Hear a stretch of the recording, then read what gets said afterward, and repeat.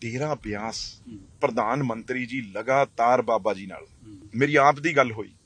ਬਾਬਾ ਜੀ ਨਾਲ ਵੀ ਹਾਂਜੀ ਦੋਸਤੋ ਵੈਲਕਮ ਬੈਕ ਦੋਸਤੋ ਰਵਨੀਤ ਬਿੱਟੂ ਜੀ ਨੇ ਬਾਬਾ ਜੀ ਬਾਰੇ ਤੇ ਡੇਰਾ ਬਿਆਸ ਬਾਰੇ ਕੀ ਕਿਹਾ ਤੇ ਕੀ ਗੱਲਾਂ ਦੱਸੀਆਂ? ਆਓ ਦੇਖਦੇ ਹਾਂ ਇਸ ਵੀਡੀਓ ਵਿੱਚ।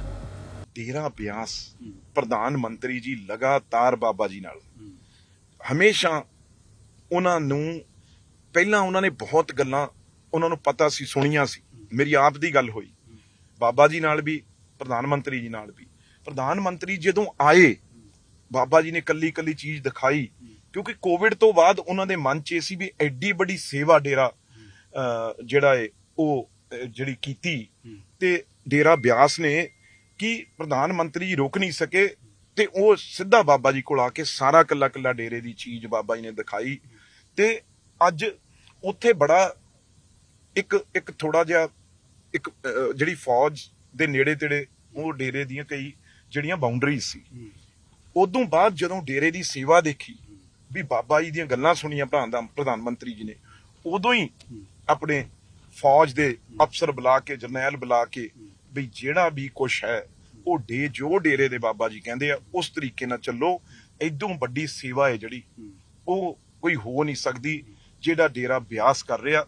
ਸਭ ਤੋਂ ਪਹਿਲਾਂ ਜ਼ਿਕਰ ਅੱਜ ਦੇਖੋ ਖੁਸ਼ੀ ਦੀ ਗੱਲ।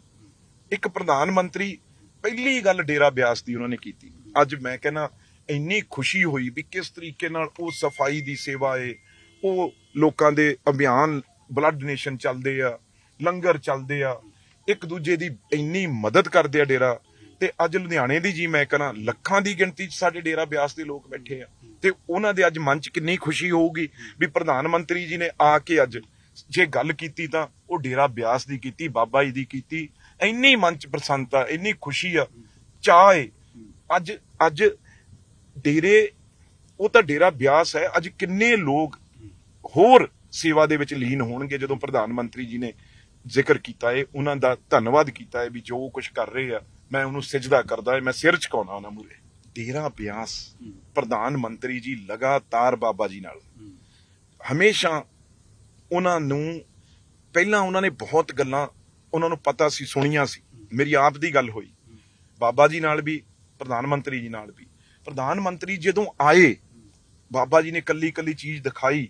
ਕਿਉਂਕਿ ਕੋਵਿਡ ਤੋਂ ਬਾਅਦ ਉਹਨਾਂ ਦੇ ਮਨ 'ਚ ਇਹ ਸੀ ਵੀ ਐਡੀ ਵੱਡੀ ਸੇਵਾ ਡੇਰਾ ਅਹ, ਜਿਹੜਾ ਏ ਉਹ ਜਿਹੜੀ ਕੀਤੀ।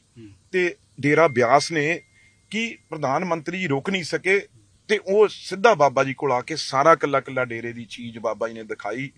ਤੇ ਅੱਜ ਉੱਥੇ ਬੜਾ ਇੱਕ ਇੱਕ ਥੋੜਾ ਜਿਹਾ ਇੱਕ ਜਿਹੜੀ ਫੌਜ ਦੇ ਨੇੜੇ ਤੇੜੇ ਉਹ ਡੇਰੇ ਦੀਆਂ ਕਈ ਜਿਹੜੀਆਂ ਬਾਉਂਡਰੀਜ਼ ਸੀ।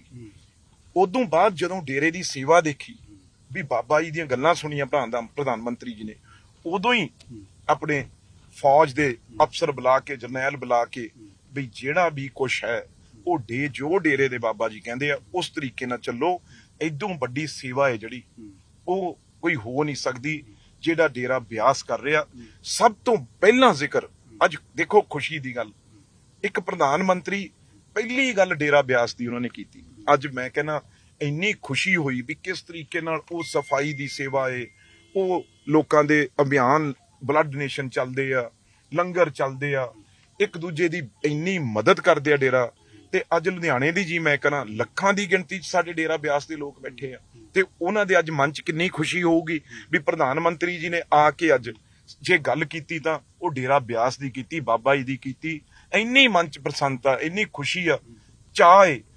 ਅੱਜ ਅੱਜ ਡੇਰੇ, ਉਹ ਤਾਂ ਡੇਰਾ ਬਿਆਸ ਹੈ, ਅੱਜ ਕਿੰਨੇ ਲੋਕ ਹੋਰ ਸੇਵਾ ਦੇ ਵਿੱਚ ਲੀਨ ਹੋਣਗੇ ਜਦੋਂ ਪ੍ਰਧਾਨ ਮੰਤਰੀ ਜੀ ਨੇ ਜ਼ਿਕਰ ਕੀਤਾ ਹੈ ਉਹਨਾਂ ਦਾ ਧੰਨਵਾਦ ਕੀਤਾ ਹੈ ਵੀ ਜੋ ਕੁਝ ਕਰ ਰਹੇ ਆ, ਮੈਂ ਉਹਨੂੰ ਸਜਦਾ ਕਰਦਾ ਹੈ ਮੈਂ ਸਿਰ ਝੁਕਾਉਣਾ ਉਹਨਾਂ ਨੂੰ।